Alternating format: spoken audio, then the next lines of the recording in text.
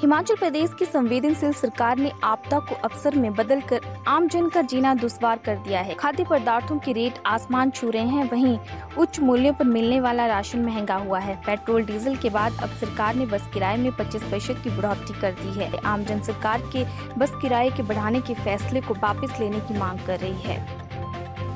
जिस तरह सरकार ने किराए फिर से बढ़ा दिए पच्चीस परसेंट तो अब हम जैसे मिडिल क्लास फैमिली के लोग किस तरह क्या करेंगे? कि रोज़गार नहीं मिल रहा है हम लोगों को, रोज़गार नहीं मिल पा रहा है। तो अब हम इस सरकार के ये पता लग रहा है, सरकार कैसी सरकार है?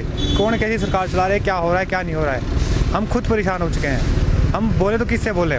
दिक्कत आ रही है, आने जाने, गरीब आदमी का आना जाना तो बड़ा मुश्किल है।